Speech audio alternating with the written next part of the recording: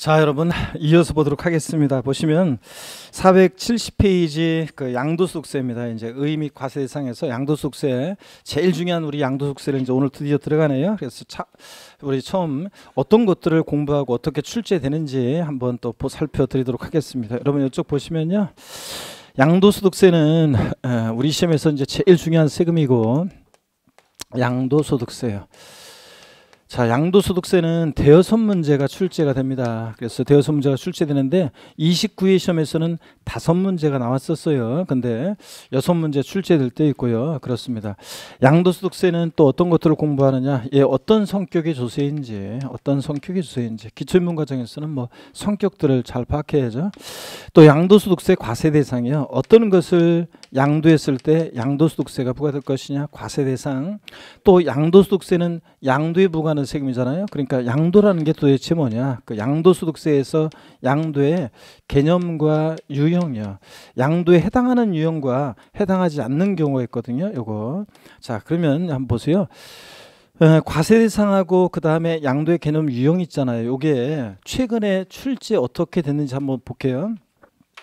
26회 시험 때 과세 대상, 그 다음에 과세 대상, 또 양도의 개념 유형, 요게 있잖아요. 시험에 기출이 됐어요. 예. 27회 시험 때는 안 나왔어요. 자, 그래서 다 안 나왔어요. 제가 그래서 28회 시험 때는 나올 가능성이 높다고 그랬어요. 28회 시험 때는 별표시를 3개 하고 나올 가능성이 높다 올해는. 자, 그래서 출제가 됐습니다. 따로따로 과세 대상과 양도의 개념 유형이 따로따로 한 문제씩 나왔어요. 두 문제가.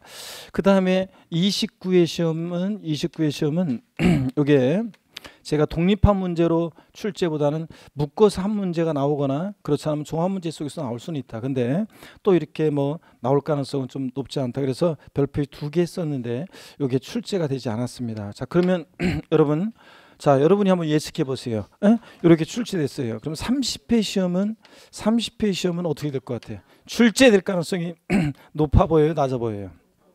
높아 보이죠, 여러분들? 그래서 30회 시험에서는 나올 가능성이 높습니다. 그래서 만약에 시험에서 요게 30회 시험에서 나왔다 그러면 여러분은 요거는 도와주는 문제예요. 그래서 만약에 묶어서 한 문제가 나올 수도 있고 각각 한 문제씩 두 문제가 나올 수도 있는데 나오면 시험 문제가 내용이 지문이 길지도 않고 또 그다음에 어렵지도 않습니다. 나오면 하여튼 여러분한테는 도와주는 거예요. 그래서 30회 시험에서는 나올 가능성이 높습니다. 그래서 별표시를 세 개 합니다, 여러분. 자, 나올 가능성이 높고요.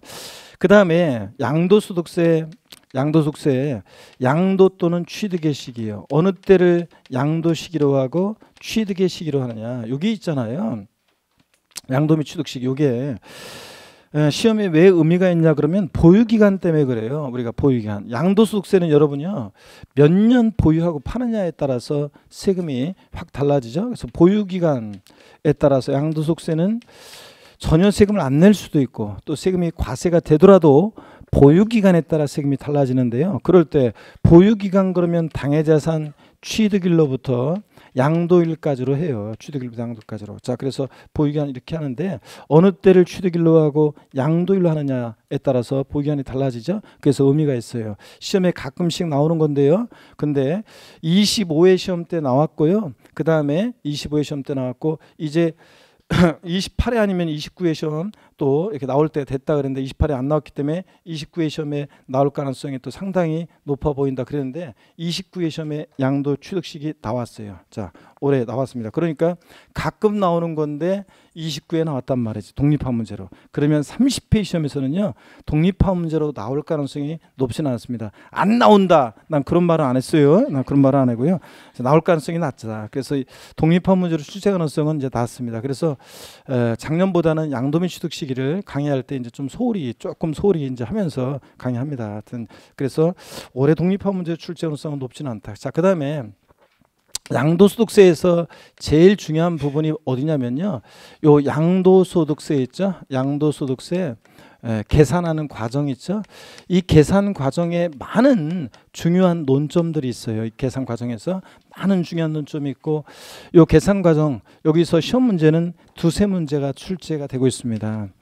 양도소득세가 어렵다 그러면 어디가 어려운 거냐면 여기가 어려운 거예요. 그래서 양도세 어렵다 여기가 어려운 거고 여기서 이제 많은 이제 중요한 논점들이 있고 여기 자 두세 문제가 출제되는 제일 중요한 부분입니다. 양도세 매년 나오는 거죠 무조건. 그래서 이 계산 과정에서는 이제 매년 시험이 나오는데 몇 문제가 나오냐 문제지 뭐 두세 문제 그냥 무조건 출제가 되는 그런 부분입니다. 그 다음에 양도소득세 있잖아요. 양도소득세 세금을 계산했으면 내야 되겠죠. 납세지를 어디로 하고 또 납세 절차요. 양도소득세는 신고 납부하는 세금인데 우리 같은 납세무자가 세금을 계산해서 신고하고 납부합니다. 그럴 때 예정 신고 납부라는 게 있고 확정 신고 납부라는 게 있어요. 그래서 이제 관련한 요 얘기 시험에 요거는 29회 시험에 독립화원 문제로 나왔어요. 자, 그렇지만 30회 시험에서 또 나오는 매년 나온다는 아니지만 거의 매년 그냥 나오는 부분입니다. 이것도 매년 그냥 그래서 29회 독립화 문제로 나왔지만 30회 시험에서 또 중요한 부분입니다. 또 나온다 생각하시면 되고요. 그 다음에 양도소득이요. 비과세되는 소득이 있어요. 어떤 경우에 양도소득세가 비과세 되느냐? 이 비과세 기초인문 과정에서는 비과세 관한 것은 테마가 빠져 있는데 기본선 하면 이제 비과세도 우리가 이제 배우게 되는데요. 어떤 경우에 양도소득이 비과세 되느냐? 여러분들이 대표적으로 알고 있는 것은 1세대 1주택과 그 부토지 양도로 인한 소득 비과세 1세대 1주택 비과세는 여러분 대충 알잖아요. 자, 그 1세대 1주택 비과세를 중심으로 이 비과세는 29회 시험에서 비과세 나왔습니다. 나왔는데 이것은 30회 시험에 또 나올 수 있습니다. 그래서 매년 이것도 거의 매년 나오는 건 아니지만 거의 매년 나옵니다. 그래서 비과세는 또 올해도 30회 시험도 중요합니다. 29회 시험 때요. 제가 이거 시험에 나온다고 그랬어요. 뭐냐면 근데 나오면은 강의하시는 분들 전국에 세법 강의하시는 분들이 누구나 다 강조를 했을 거기 때문에 전국의 수험생 또 대부분 다 맞출 거라고 제가 얘기한 게 그래서 나오긴 나오는데 대부분 다 맞출 거다. 혼자만 또 틀리지 말라고 얘기한 게 이거예요. 29회 시험에 나온 게 비과세에서 가로놓기 문제로 나왔는데 남자가 장가 오면서 있죠. 자, 집한채 갖고 장가 옵니다. 여자가 시집 오는데요.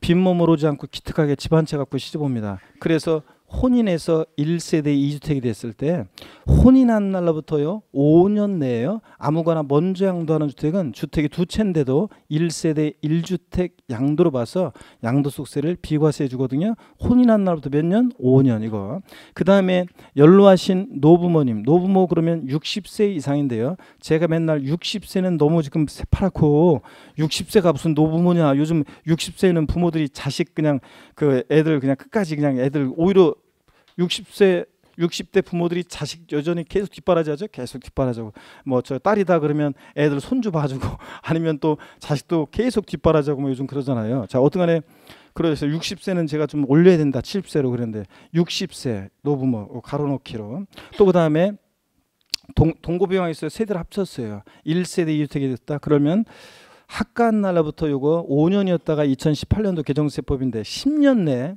아무거나 먼저 양도하는 주택은 1세대 1주택 양도로 봐요. 노부모 동구부양에서 합쳤을 때는. 그래서 요거 몇 년? 10년. 이거요. 계속 제가 다양하게 이것을 7년 8개월이 될 때 양도했을 때뭐 뭐 계속 이런 식으로 5년 이내에만 양도하면 뭐 조금 해서 계속 바꿔서 시험 문제 물어봤었는데 자, 결국 이거요. 역시 가로놓기로 학간 날부터 몇 년? 10년. 요거 시험에 또 나왔습니다. 그래서 요거는 당연히 공부한 세법 좀 공부한 수험생이면 맞췄어야 되는 그런 문제가 출 출제가 됐었습니다, 여러분. 자, 어떻든 간에 그렇지만 에, 비과세요. 자, 또 나옵니다. 자, 또 나올 수 있고요. 그래서 이런 것들을 테마로 해서 양도세 공부합니다. 우리가 뭐 양도속세에서는 하여튼 이런 것들을 중요하게 해서 이제 공부하시면 대여섯 문제가 출제되고 특히 계산 과정이 이제 중요하고요. 다음 주에 우리가 계산 과정은 이제 어떻게 계산하는지 그 계산 과정을 제가 보여드리도록 할 거고요. 자, 그러면 여러분 계속 봅니다. 어디로 가시냐면 양도속세 의의 그 다음에 특징을 한번 봐야죠. 자, 제2절 470페이지 의의 및 과세 대상입니다. 의의 및 과세 대상을 보시면 의의 및 과세 대상을 보시면 에, 그 먼저 공일 의의 및 특징입니다. 의의요. 양도소득세는 개인이요. 우리 같은 개인이 사업성 없이요. 아까 사업성 가지고 팔면 사업소득이고 그죠? 사업성 없이 우리 같은 개인이 사업성 없이 토지 건물 등을 유상으로 반드시 대가를 받고요. 양도함으로 인해서 발생하는 소득을 양도자별로 합산하여 1월 1일부터 12월 31일까지 기간 동안에요. 제가 1월 달에도 부동산 팔았어요. 5월 달에도 팔았어요. 12월 달에도 팔았어요. 그러면 그 양도 소득을 양도자별로 전부 다 어떻게 한다? 합산해서 이제 자 거주행 경우에 그 주소지 관할 세무서에 신고 납부하는 그런 국세입니다. 특징을 보면 동그라미 1번 양도소득세는 상업성 없이 우발적 비경상적으로 발생하는 소득을 대상으로 한다는 점에서 상업성을 가지고 계속적 반복적 경상적인 소득이 과세하는 종합소득과는 구별되고요. 즉 사업성 여부에 따라서 양도소득과 종합소득이 구별되고 있습니다. 아까 설명드렸죠.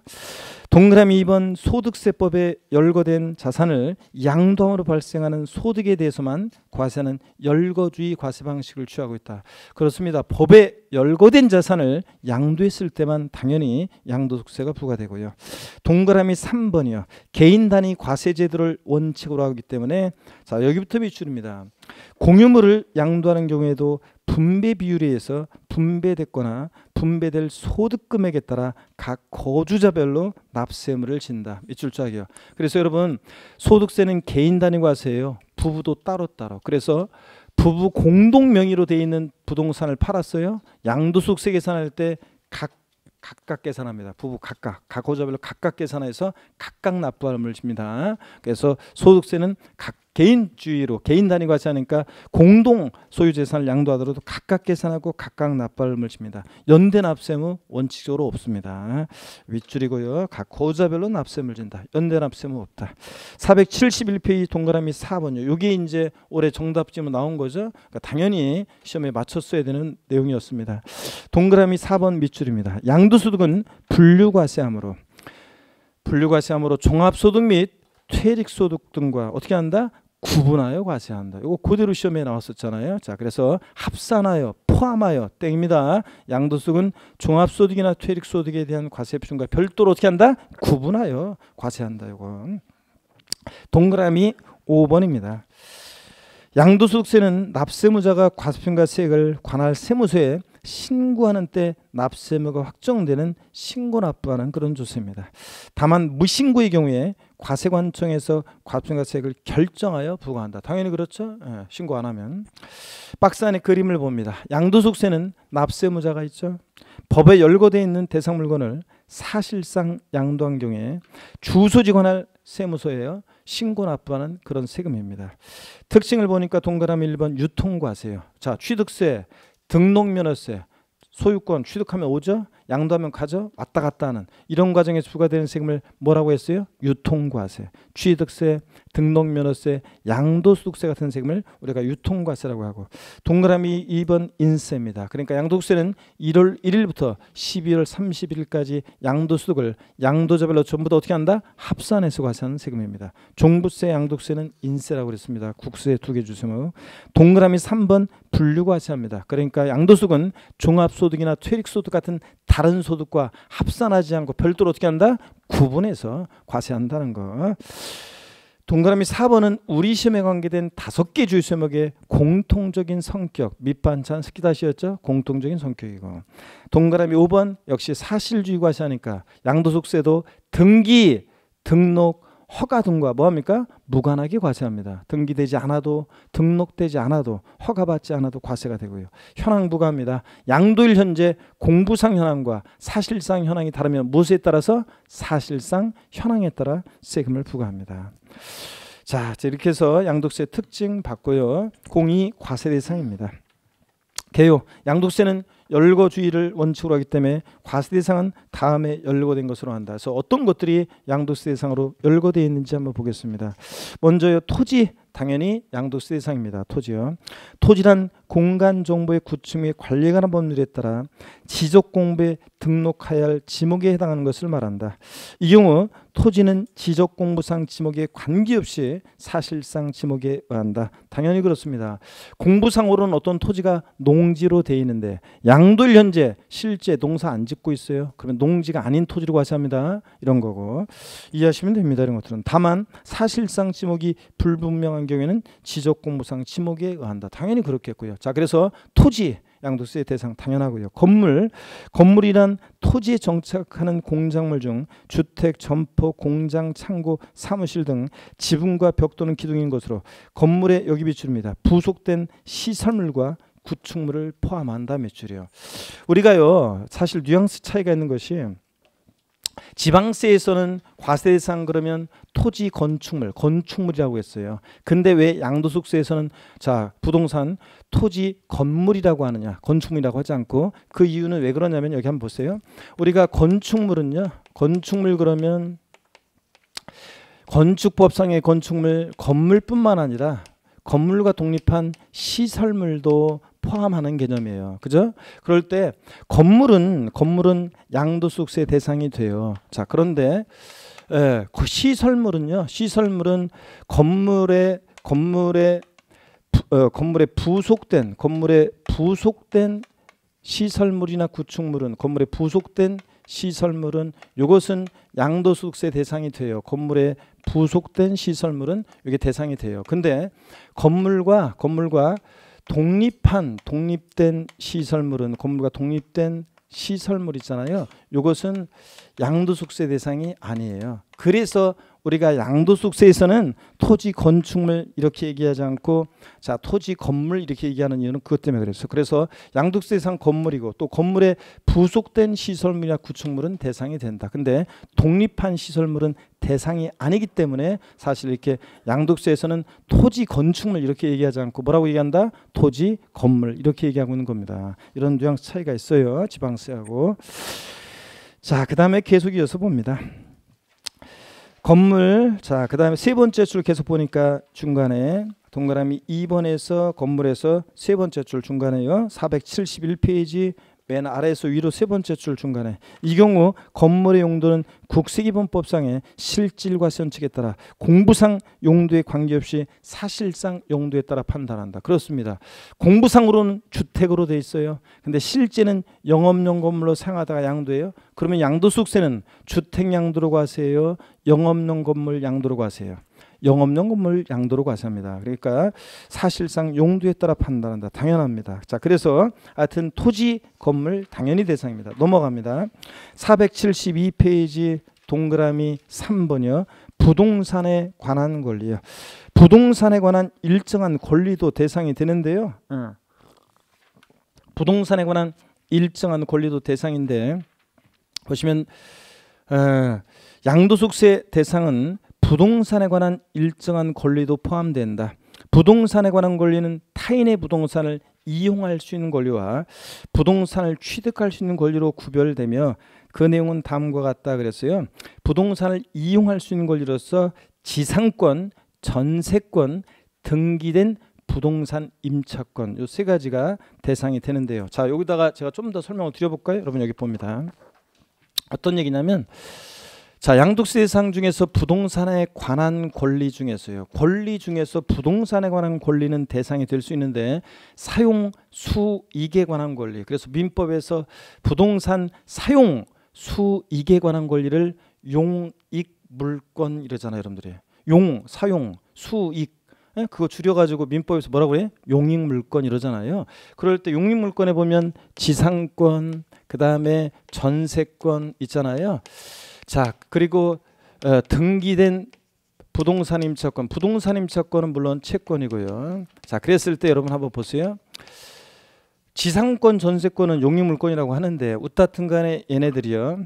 지상권 전세권은요. 여기 보시면 얘네들은 등기와 무관하게 대상이 돼요. 등기와 무관하게 대상이 됩니다.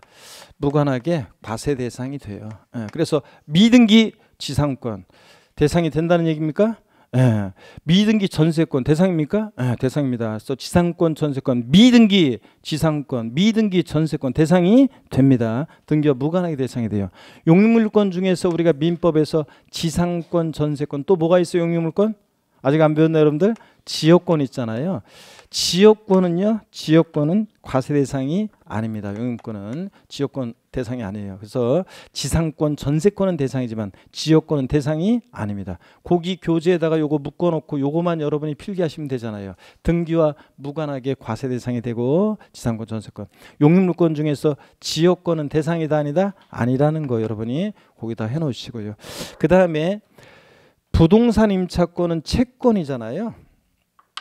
부동산 임차권은 채권이다 보니까 얘는 반드시 등기된 것만 대상이지 미등기 부동산 임차권은 미등기 부동산 임차권은 대상이 되지 않습니다. 반드시 부동산 임차권은 뭐만 등기된 것만 대상이다. 그래서 미등기는 대상이 아닙니다, 여러분들. 이것도 알아둡니다. 자, 이렇게 해서 요거는 꼭 알아두셔야죠. 요 내용 알고 있는지 시험에서 여러 번 물어봤습니다, 여러분. 하여튼 자, 지상권, 전세권은 등기와 무관하게 대상이 된다. 자, 근데 에, 근데 용익물권 중에서 지역권은 대상이 다 아니다? 아니다. 또 부동산 임차권은 반드시 얜 채권이기 때문에 등기된 부동산 임차권만 대상이지 미등기 부동산 임차권 대상이 아니다. 꼭 알아둡니다, 여러분. 자, 그러면 계속 이어서 보겠습니다. 필기해 놓으시고 에, 니은번 봅니다. 부동산에 관한 권리 중에서요. 니은번 부동산을 취득할 수 있는 일정한 권리도 대상이 되는데요. 이 권리를 갖고 있으면 부동산을 취득할 수 있게 되는데 그 참고 내용이요. 그 참고가 아니에요, 사실은. 다 시험에 나왔던 것들인데요. 한번 보겠습니다. 부동산의 취득 시기가 도래하기 전에 취득할 수 있는 권리로서 다음과 같다. 그래서 하나하나 예를 다 알아두셔야 되는데 줄겁고요. 1번 건물이 완성되는 때 그 건물과 이에 딸린 토지를 취득할 수 있는 권리 밑줄 쫙입니다. 이렇게 시험에서 그대로 나오기도 하고요. 그 예가 시험에 나오기도 하는데 아파트 당첨권, 분양권, 조합원 입주권 같은 이런 것들이요. 아파트 당첨권, 분양권, 조합원 입주권 같은 이런 것들 대상이 됩니다, 여러분. 자, 여러분 절 보세요. 절 보시면 에, 그 부동산 아파트 그 분양권 이런 거 갖고 있으면 본계약 체결해서 아파트 완공되면 그 건물과 그에 딸린 토지를 내가 취득할 수 있게 되잖아요. 그죠, 여러분들? 아, 그렇잖아요. 우리가 아파트 당첨권이나 분양권 갖고 있으면 본계약 체결해서 아파트 완공되면 건물과 그에 딸린 토지를 취득할 수 있게 되잖아요. 그죠, 여러분들? 그렇기 때문에 부동산을 취득할 수 있는 권리가 되는 거고 부동산을 취득할 수 있는 권리이기 때문에 양도세 대상이 되는 겁니다. 아파트 당첨권, 분양권, 조합원 입주권이요. 아시겠습니까, 여러분? 취득세 대상은 아니지만 이런 것들 양도세 대상이 된다. 2번 자 발행 기간은 중요하지 않고요. 지자체나 한국토지주택공사 발행하는 토지 상환채권, 한국토지주택공사가 발행하는 주택 상환채권 같은 이런 것들 상환이라면 다 미줄입니다. 토지 상환채권, 주택 상환채권. 요거 상환이란 또는 뭐 주택 상환 사채 이렇게도 얘기하는데 상환 주택 상환채권 상환이라는 말 들어 있죠. 요거 동그라미 하시고 그래서 토지 상환채권, 주택 상환채권 같은 이런 애들은 나중에 토지로 주택으로 바꿔줘요. 그러니까 부동산을 취득할 수 있는 권리가 됩니다. 근데 참고적으로 여러분들 국민주택 채권 같은 거 있죠? 이런 것들은 백날 갖고 있어도 국민주택으로 바꿔줘요, 안 바꿔줘요? 안 바꿔주니까 부동산을 취득할 수 있는 권리가 아닙니다. 그래서 이런 것과 구별합니다. 자, 구, 주택 상환 토지 상환 채권, 주택 상환 채권 같은 이런 것들은 나중에 토지 주택으로 바꿔 주니까 대상이 되는데 국민 주택 채권 이런 것들은 안 바꿔 주니까 부동산을 취득할 수 있는 권리가 아닙니다. 그 다음에 4번도 밑줄입니다. 부동산 매매 계약을 체결한 자가 계약금만 지급한 상태에서 양도하는 권리 밑줄 쫙입니다. 얘는 어떤 거냐면요. 얘는 어떤 거냐면 여러분 보세요. 어떤 주부 수강생이 저한테 물어봤어요. 교수님 아파트 분양 계약 체결하고요. 계약금을 치를 때는요. 계약금을 치를 때는 저희 시동생 명의로 계약을 했어요. 그런데 잔금 치르기 전이거든요. 잔금 치르기 전인데요. 잔금 치르기 전에 애들 아빠 명의로 명의를 좀 바꾸려고 그래요. 어떤 세금이 문제될 수 있을까요? 물어봤는데요. 어떤 세금이 문제될 수 있냐면 요 갑은요. 갑은 부동산을 부동산을 취득할 수 있는 권리를 양도했다고 봐서 양도소득세가 문제될 수 있습니다. 자 무슨 얘기냐면 우리가 부동산 매매 계약을 체결하면서 계약금을 치렀다는 것은요. 자 민법에서도 계약금의 효력을 배우지만 왜 계약금을 치르냐? 계약금을 치른 자가 치르지 않은 자보다 우선적으로 그 계약을 완성시켜서 결국 그 부동산을 취득할 수 있는 지위 권리를 갖게 되는 거잖아요. 그죠? 아 그러니까 우리가 계약금을 치르는 거지. 계약금 치른 자가 치르지 않은 자보다 우선적으로 그 계약을 완성시켜서 결국 부동산을 취득할 수 있는 지위 권리를 갖게 되는 거잖아요. 그래서 그 갑은 부동산을 취득할 수 있는 권리를 양도했다고 보는 겁니다. 부동산 매매 계약을 체결한 자가 자 어, 계약금만 지급한 상태에서 양도하는 권리입니다. 잔금 치르기 전에요. 취득 시기 도래하기 전에. 자, 그럼 이때 참고적으로 양도소득세는 참고적으로 어떻게 계산되느냐? 취득 가격은요. 요때까지 만약에 요때까지 취득 가격은 어떤 거냐? 계약금 중도금 들어간 게 있다. 그럼 요것을 취득 가격으로 합니다. 양도 가격은요. 양도 가격은 제가 요번에 양도 가격은 여기다가 프리미엄 얹어서 피 얹어서 팔았다. 그러면 요 프리미엄 상당액에 대해서 양도세가 부과되는 겁니다. 어떤 수강생분들은 지상권, 전세권 같은 것도 거래가 되나요? 부동산 임차권도 거래가 되나요? 자, 그런데 프리미엄 받고 그 권리를 내가 다른 사람한테 넘기면 그 근데 민법에 근데 임대인하고 뭐 임차인하고 관계 그런 거는 여러분들이 그 민법에서 배우는 그런 거하고 충돌되지 마시고 어떻든 간에 우리 세법은요. 불법이든 합법이든 자우지간 어떻든 간에 자 거래가 있고 소득이 발생하면 그 소득의 세금을 부과하는 거예요. 실질에 의해서. 자 그래서 어떻든 간에 자기가 프리미엄 받고 저런 어떤 지상권, 전세권 같은 그 권리를 넘겼다 그러면 그 프리미엄 상당액에 대해서 양도세 부과됩니다. 이것도 그런 거예요. 자 결론이요. 부동산 매매 계약을 체결한 자가 계약금만 지급한 상태에서 양도하는 권리 이런 것도 대상이 된다. 이거만 알면 돼요, 여러분들이. 자, 그다음에 동그라미 4번입니다. 기타 자산 양도세 대상인데 기타 몽땅 싸그리다가 아니라 글자 그대로요. 기, 타, 자, 산 네 가지가 있습니다. 종류가. 먼저요. 기타 자산 동그라미 기억번. 기억 니은번이 중요한 건데요. 시험에서 기억번 사업용 고정자산과 한다는 영어권이요. 28회 시험에도 정답지로 나왔었지만 사업용 고정자산 자 뭔지 밑줄입니다. 계속 사업용 고정자산 토지 건물 부동산에 관한 권리를 말합니다. 이 토지와 함께 또는 건물과 함께 부동산에 관한 권리와 함께 양도하는 영어권 쫙 밑줄입니다. 대상이 됩니다. 사업용 고정자산과 함께 양도하는 영어권은 대상인데요. 가로 안에 보니까 영어권을 별도로 평가하지 않았으나 사회 통념상 자산에 포함되어 함께 양도되는 것으로 인정되는 영어권과 행정관청으로부터 인가, 허가, 면허 등을 받음으로써 얻는 경제적 이익을 포함해서요. 하여튼 사업용 고정자산과 함께 양도하는 영어권은 자또 미출이요 양도세 대상이 된다 미출이요. 자 그래서 대상이 되는데 그 옆에 보조단 왼쪽을 보니까 사이드예요. 밑줄입니다. 영업권을 단독으로 양도함으로 발생하는 소득은 종합소득 중 기타 소득에 해당한다 밑줄 쫙입니다. 자, 그래서 이게 어떤 거냐? 시험에 이것도 여러 번 나왔어요. 그래서 여러분 잘 알아두셔야 되는데 여기 한번 설명 드려볼게요. 예, 우리가 영업권 있잖아요. 영업권. 자, 영업권 한번 봅니다. 영업권 있죠? 제가 옛날에는 요걸 예를 들 때 제가 옛날에 강의할 때 상기는요. 옛날에 예를 들 때 저는 KFC로 예를 들었었어요. 옛날에. 그래서 KFC 예. 예, 프랜차이즈 뭐 강남점이 있다. 뭐 그래서 이런 식으로 예를 들었거든요. KFC 그래서 저는 왜 예를 들냐면 이게 한국 기업인 줄 알았어요. 전 처음에 옛날에 이걸 딱 보면서 K면 코리아지 뭐.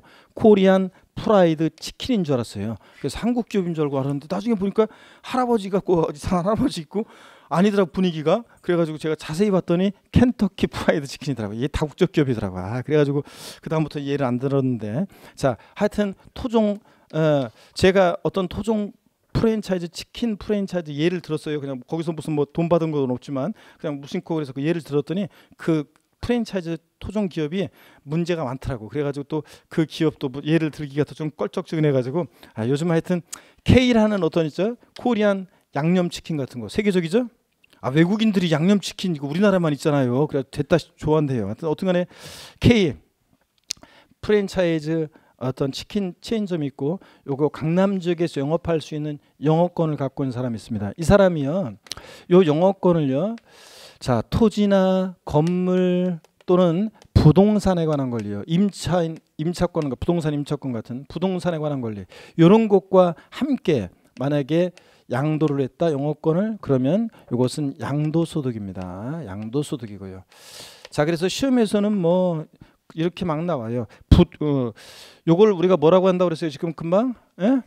사업용 고정자산이라고 그랬죠? 시험에서는 사업용 고정 자산과 함께 양도하는 영어권 이렇게 나오기도 하고 또 시험에서는 토지와 함께 양도하는 영어권, 건물과 함께 양도하는 영어권, 또는 부동산에 관한 권리와 함께 양도하는 영어권 이렇게 막 나와요. 하여튼 이런 것과 함께 양도하는 영어권 대상이다. 근데 영어권만 단독 양도한다. 영어권만 단독 양도한다. 그러면 요건 뭐라고요?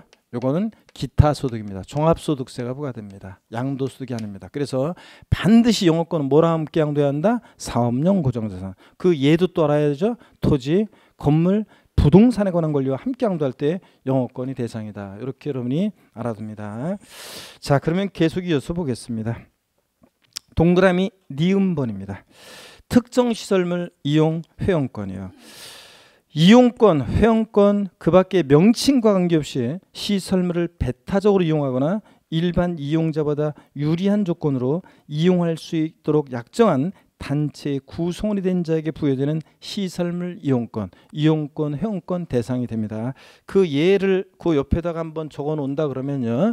그 예를 한번 적어 놓는다 그러면 뭐 골프 회원권, 골프 회원권 자, 골프 회원권, 뭐 콘도미니엄 회원권, 콘도미니엄 회원권, 또 그다음에 뭐 헬스클럽 회원권 같은 예? 이런 것들 다 예, 이런 것들 다 대상이 됩니다. 여러분 예, 등등 하여튼 이용권 회원권 다 대상이 됩니다. 그럼 질문 한번 드려보겠습니다. 잘 보세요, 여러분들. 여러분 동네에 있는 있죠? 여러분 동네에 있는 5성급 호텔 아니고요. 예, 5성급 호텔 회원권 아니고 여러분 동네에 있는 헬스클럽 회원권은 양독세 대상이 되겠습니까? 여러분 동네에 있는 헬스클럽 회원권은 양독세 대상이 된다 안 된다? 된다 안 된다? 자 결론은요. 여러분 동네에 있는 헬스클럽 회원권은 양독세 대상이 대상이 됩니다. 돼요.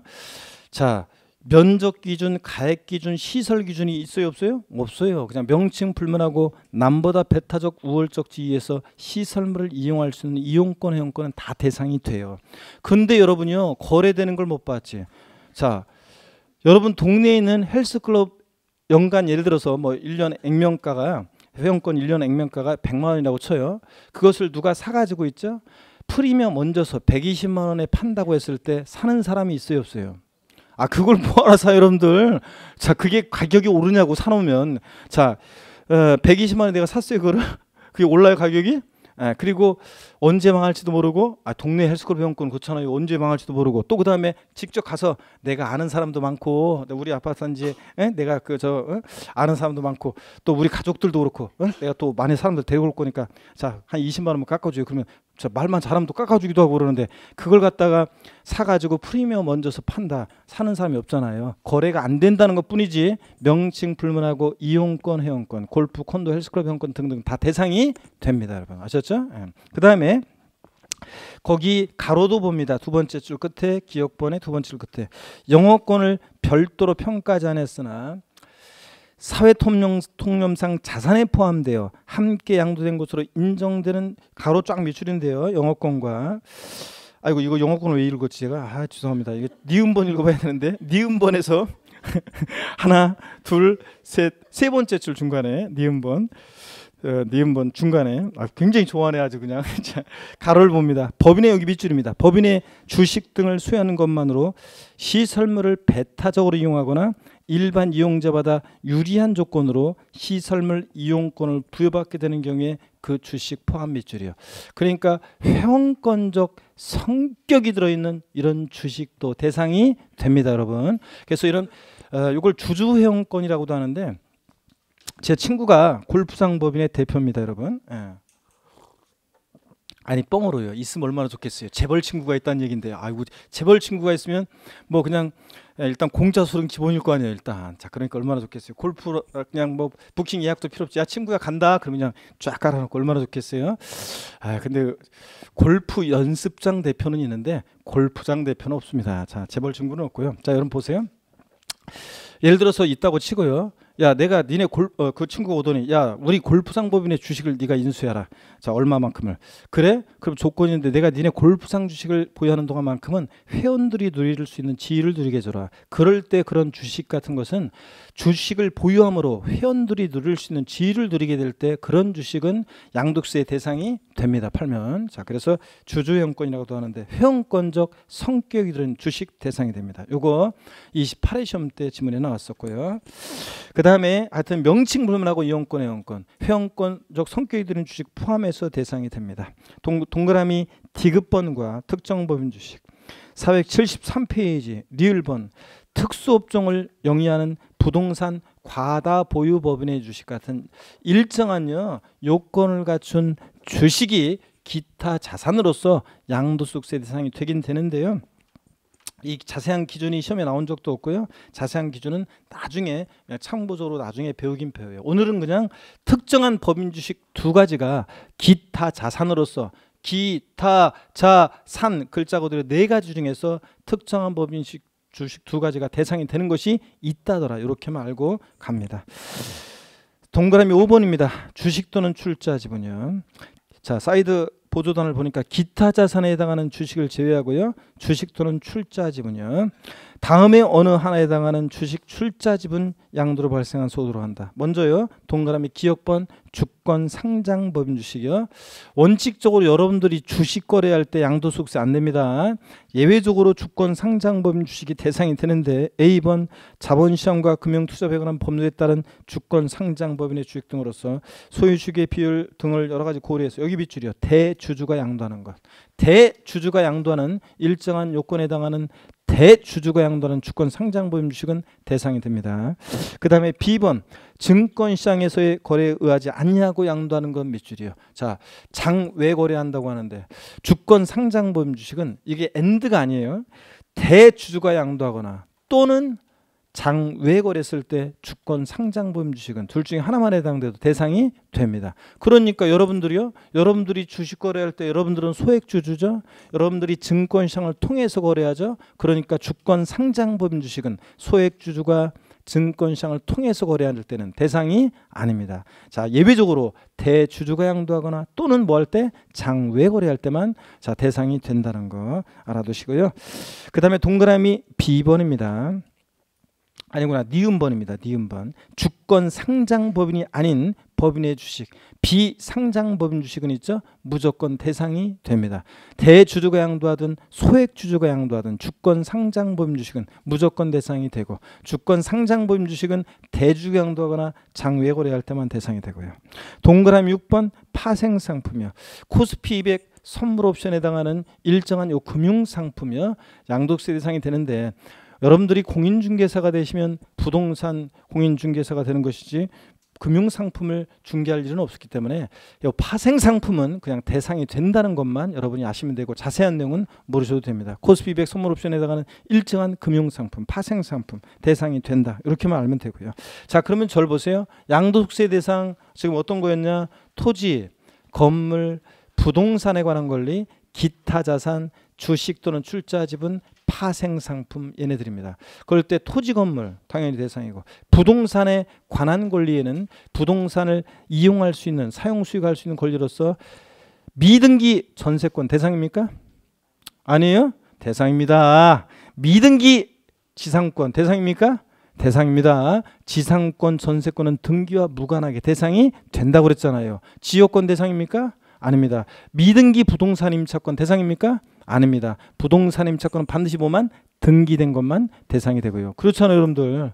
자, 그래서 지상권, 전세권, 등기된 부동산 임차권. 그 다음에 부동산을 취득할 수 있는 권리로서 건물이 완성되는 때 건물과 이에 딸린 토지를 취득할 수 있는 권리. 그래서 그 예를 또 기억해야 되는데 어떤 거라고 그랬어요?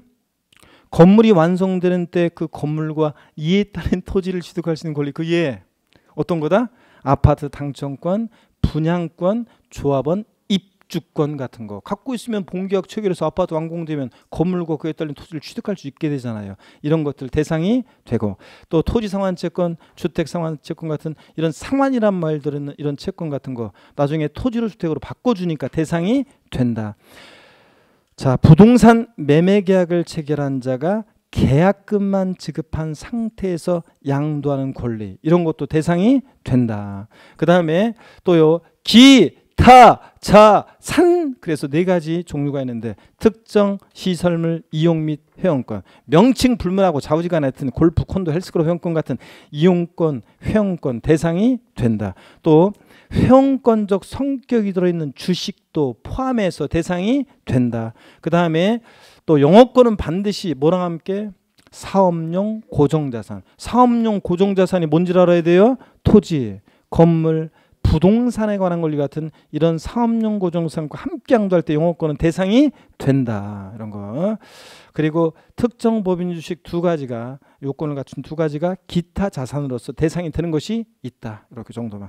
그다음에 주, 기타 자산을 제외한 주식 또는 출자 지분, 주권 비상장범 주식은 무조건 대상이 된다. 비상장범 주식은. 근데 주권 상장범 주식은 원칙은 대상이 아닌데 예외적으로 어떤 경우만 대주주가 양도하거나 또는 뭐 할 때 장외 거래할 때만 대상이 된다. 그랬죠, 여러분들?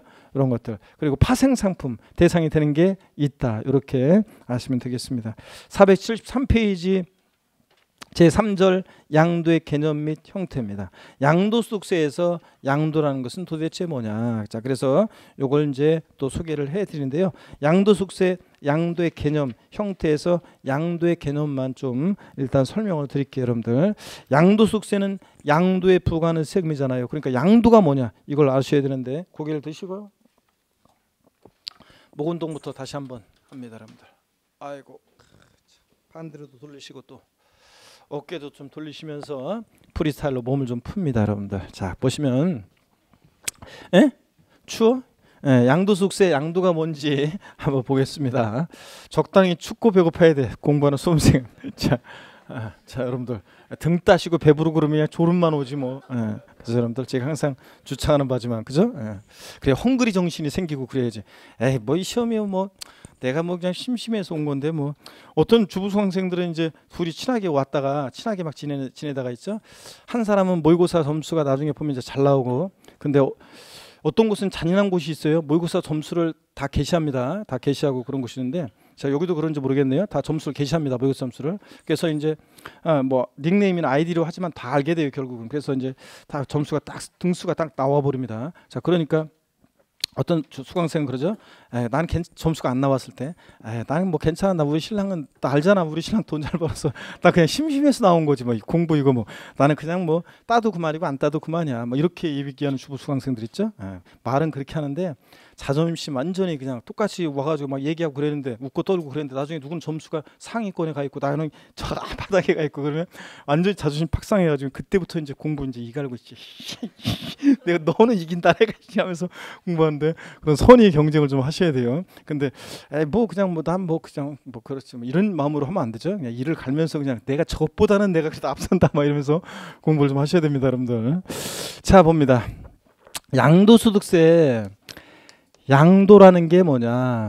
양도소득세는 양도에 부과잖아요. 그러니까 양도가 뭔지 알으셔야 되는데 양도세 양도는 한마디로요. 사실상 사실상 유상 유상 이전이어야 합니다. 자, 누가 여러분 양도소득세 양도가 뭐냐 물어보신다면 뭐라고 대답하신다? 다 같이요. 에브리바디 시작. 사실상 유상 이전이다. 그래서 사실상 유상 이전해야 되는데 우리가 취득세에서 다 까먹었겠지만 취득세에서 취득이 뭐냐 물어보신다면 취득세 취득은 사실상 소유권 취득해야 한다. 그랬잖아요, 여러분들. 사실상 소유권 취득해야 한다. 그런 것처럼 누가 양도가 뭐냐 그러면 다시요. 양도세 양도는 뭐다? 사실상 유상 이전해야 한다. 그래서 그러면 사실상 유상 이전 이게 무슨 얘기냐?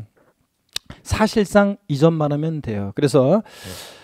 자 사실상 이전만 하면 되니까 실질과 세원칙상 등기 등록과 자 무관하게 과세가 됩니다. 등기 등록과 무관하게 역시 과세가 돼요. 여러분 예. 자 실질과세원칙 적용되니까 등기 이전 안 됐어도 돼요. 잔금 받거나 그러면 양도했다고 봅니다. 그래서 등기 등록을 과세 조건으로 하지 않습니다. 등기 등록과 무관하게 과세가 되고요. 또 사실상 이전해야지 근데 형식적으로만 이전하는 형식적인 이전은 형식적인 이전은요. 이것은 양도가 아닙니다. 반드시 양도세는 사실상 이전해야 돼요. 형식적 이전은 요거 양도가 아닙니다, 여러분. 자, 그러면 형식적 이전의 대표적인 예를 한번 들어볼게요, 여러분들. 그 대표적인 예는요. 양도 담보 목적으로 이전이요. 양도 담보 목적으로 이전. 자, 여러분 양도 담보 목적으로 이전인데 이건 어떤 거냐면 여러분들이 민법에서 이제 처음 오신 분들은 나중에 양도 담보 이런 거 배웠나요? 양도 담보, 매도 담보 뭐 이런 거 다 배워요.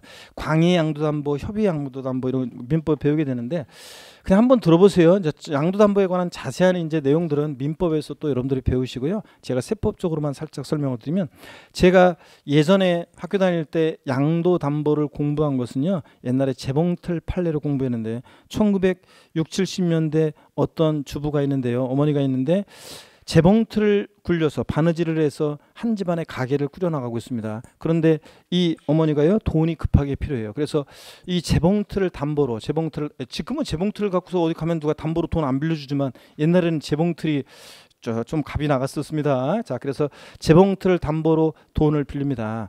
그럴 때 채권자한테 재봉틀을 담보로 돈을 빌리면서 여전히 어머니가 사용 수익을 해요. 이 재봉틀을 굴려요. 수익이 발생하면 자기가 갖고요. 근데 채권자한테 변제기가 돼서 돈을 못 갚으면 이 재봉틀 네 마음대로 알아서 해. 처분권을 이전합니다. 이런 게 양도담보 계약이에요. 제가 배운 것은. 그럼 한번 보세요. 자, 예를 들어서 갑이라는 사람이 있고 을이 있는데요. 자, 갑이 에, 어떤 자신의 어떤 자산을 담보로 해서 을로부터 금전을 대여받습니다. 대여금 채권에 대한 얘는 채무자고요. 얘는 채권자입니다. 자, 그랬을 때 예, 채무자 갑이요. 이 자산에 대해서 행사하고 있는 소유권 내용을 한번 볼게요. 요거는 이제 시험과는 요 소유권 요 내용은 우리 시험과는 관계없지만 세법과는 관계없지만 한번 보세요. 소유권이란 하나의 권리는 민법에서 자 보면은 소유권이란 하나의 권리는 사용할 수 있는 사용 권한, 자 수익할 수 있는 수익 권한, 그 다음에 처분할 수 있는 처분 권한 이렇게 세 개 권능 권한으로 얘네들은 권리가 아니라 권능 권한으로 소유권이라는 하나의 권리가 이루어졌다. 뭐 이런 식으로 민법에서 원래는 배우나요? 여러분들 어떻게 이렇게 돼 있어요. 소유권이라는 하나의 권리는 세계 권능 권한으로 돼 있어요. 그럴 때 여러분 보세요. 이걸 우리 세법에서 물어보는 건 아니고요. 한번 보세요. 양도담보 계약이라는 이런 거예요. 하여튼 사용 수익은 여전히 누가 하냐면요. 채무자가 갖고 있어요. 채무자가. 소유권 내용 중에서. 근데 처분권만 변제가 돼서 돈 못 갚으면 네 마음대로 알았어요. 처분권만 채권자에게로 이전해요. 그러니까 갑에서 을로의 이 양도 담보 목적으로 이전은요. 등기 형식은 소유권 이전 형식으로 등기 형식은 소유권 이전이 돼요. 등기는. 근데 자 내부적으로 보면은 사실상 이전한 게 아니라 여전히 채무자가 사용 수익하고 처분권만 이전한 거기 때문에 이때 양도 담보 목적으로 이전은 양도에 당하지 않는다고 봅니다. 사실상 이전이 아니기 때문에 등기 형식은 소유권 이전이지만 실질은 담보 이전이기 때문에 양도 담보 목적으로 이전은 양도에 당하지 않습니다. 근데 변제기가 돼서 돈을 갚으면 문제가 없는데요. 돈을 안 갚아요. 자, 그러니까 채권자가 이것을 제3자에게 제3자에게 이것을 자 매각합니다. 그럴 때는 요 때는 완전히 대가를 받고 제3자에게 완전히 넘어가는 거기 때문에 이때는 양도에 당합니다. 28회 시험 때 정답 질문 나왔던 게 이건데 양도 담보 목적으로 이전은 형식적 이전이기 때문에 양도에 당하지 않습니다. 자, 근데 다만 양도담보된 자산이 채무 불이행 등의 사유로 매각 이때는 양도에 당하는 경우도 있다는 거. 자, 그래서 양도 담보 목적으로 이전은 형식적 이전을 뭐로 양도에 당하지 않는다. 여전히 채무자가 소형수익하고 돈 변제기도 못 갚은 네 맘대로서의 처분권만 이전하니까 사실상 이전한 게 아니잖아요. 근데 양도 담보된 자산이 채무 불이행 등의 사유로 졸고 있는 건 아니지 지금? 채무 불이행 등의 사유로 변제 충당 매각했을 때는 양도에 해당 한다. 여러분 아시겠습니까, 여러분? 아, 이고 조금 조용히 아주 그냥 수업 듣는 척 밑에 보고 있는 것처럼 하면서 이렇게 졸고 있네. 아이고 진짜. 그래도 다행이다 그냥 이렇게 조는 것보다는 그래도 낫다. 자, 좋습니다. 아이고 자, 이거 봅니다. 요거만 하고 좀 쉽게요. 여기 보세요. 양도세는 반드시 또 사실상요 유상 이전이어야 돼요. 대가를 받고 이전해야 돼. 그래서 이게 양도에 해당하느냐 안 하느냐 이런 거를 판단할 때는 여러분들이 이제 소득세법 통칭이나 판례 내용이 유일하게 양도세에서 이제 이쪽 부분에서 시험 문제 지문에 깔려 나와요. 그럴 때 양도 해당하느냐 안 하느냐 이런 것들을 판단할 때 딴 거 없어요. 직접적인 대가를 받고 이전하면 대가 받고 이전하면 양도인데 대가 없이 이전하면 양도에 해당하지 않거든요. 그래서 양도세는 반드시 뭐다? 사실상 유상 이전, 대가를 받고 이전해야 돼요. 그러기 때문에 그러기 때문에 무상 이전 있죠. 자, 29회 시험 때 지문에 나왔었는데 이거 상속 증여 등 무상 이전은 양도에 해당하지 않습니다, 여러분. 반드시 양도세는 자, 대가를 받고 유상 이전해야 됩니다. 자, 그럼 다시요. 누가 여러분한테 양도속세 양도가 뭐냐? 그럼 뭐라고 대답하신다? 사실상 유상 이전이다. 자, 그래서 요 얘기를 여러분들이 거기다 필기해 놓고 어, 그 공란 같은 데다 적어 놓고 알아두시면 되겠습니다. 자, 그러면요. 473페이지 그 양도의 개념 정의를 잠깐 볼게요. 자산에 대한 등기 등록과 관계없이 매도, 교환, 법인의 어, 밑줄은 자산에 대한 등기 등록과 관계없이 밑줄. 그 다음에 읽어볼게요. 매도, 교환, 법인의 현물주자 등으로 인해서 또 밑줄입니다. 그 자산이 유상으로 사실상 이전되는 것 밑줄이요. 자, 이걸 한마디로 줄이니까 양도숙세 양도는 뭐라고요? 사실상 유상 이전이다. 그 얘기입니다. 양가로 2번 유상 이전 읽어봅니다. 과세대상 자산이 대가를 받고 이전되는 유상 이전이 하며 무상 이전의 경우는 제외된다 밑줄이요. 자, 그래서 반드시 양도세는 유상 이전 대가를 받고 이전해야지 무상 이전은 양도에 당하지 않습니다. 상속증여 등 통한 이전은 취득세는 유상 무상 불문하고 취득세가 과세되는데 취득세는 상속증여 받았을 때 취득세 부과됐잖아요. 그런데 양도세는 무상 이전은 양도에 당하지 않습니다. 자, 그다음에 유상 이전이 뭐 법률에 의한 것이든 법률에 의하지 않은 것이든 불문하고 하여튼 형태 불문하고 넘어갑니다. 474페이지. 양가로 3번 사실상 이전이요. 민법상 물권 변동의 요건인 등기와는 관계없다. 여러분 민법을 공부하신 분들이 민법을 여러분들 공부하다 보면 또 항상 이제 오셔가지고 세법과 관련해서 막 질문하실 때 보면 요거를 오해하시는 분들이 있는 것 같아요. 민법은 성립 요건주의를 취하기 때문에 등기해야지 성립하고 등기해야지 대항하고 그래요. 근데 우리 세법은 실질 과세 원칙이 적용되기 때문에 등기 등록과는 뭐한다? 무관하게 과세가 됩니다. 그래서 민법을 헷갈리면 안 돼요.